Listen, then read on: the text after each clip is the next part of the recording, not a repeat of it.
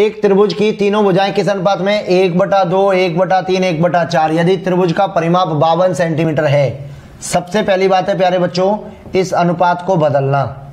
सबसे इंपॉर्टेंट बात है, अब आप बताओ कि आपके सिलेबस में अनुपात टॉपिक तो है ही नहीं।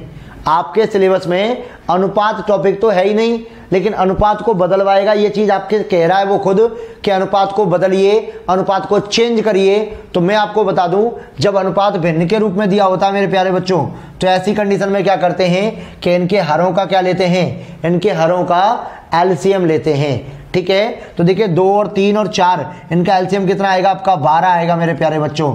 तो एक बटे दो का बारह से गुणा करेंगे तो अनुपात आएगा छह। एक बटे तीन का बारह से गुणा करेंगे तो चार आएगा। और एक बटे चार का बारह से गुणा करेंगे तो क्या आएगा? तीन आएगा तो छह, चार और तीन। अब देखो, इन तीनों भुजाओं का टोटल कितना हो रहा है आपका? तेरह अनुपात। लेकिन तीनों भुजाओं का टोटल वैसे कितना दे रखा है? बावन सेंटीमीटर कितना दे रखा है प्यारे बच्चों?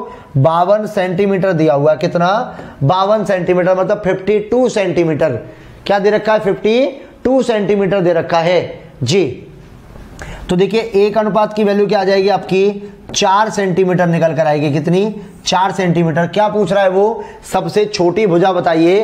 तो मेरे प्यारे लाडलो, जो सबसे छोटा अनुपात होता है, वो सबसे छोटी भुजा होती है। और जो सबसे बड़ा अनुपात होता है, वो सबसे बड़ी भुजा होती है। तो देखिएगा, तीन गुणा चार, क्या हो जाएगा आपका? बारह centimetre is the correct answer अगर वो पूछे सबसे बड़ी भुजा बताओ तो मेरे प्यारे बच्चों, सबसे बड़ी भुजा की अगर हम बात करें सबसे बड़ी भुजा की बात करें तो सबसे बड़ी भुजा क्या हो जाएगी आपकी? छह गुणा चार, कितना हो जाएगा आपका? 24 सेंटीमीटर। कितना हो जाएगा आपका? 24 सेंटीमीटर। कितना हो जाएगा? 24 centimetre is the correct answer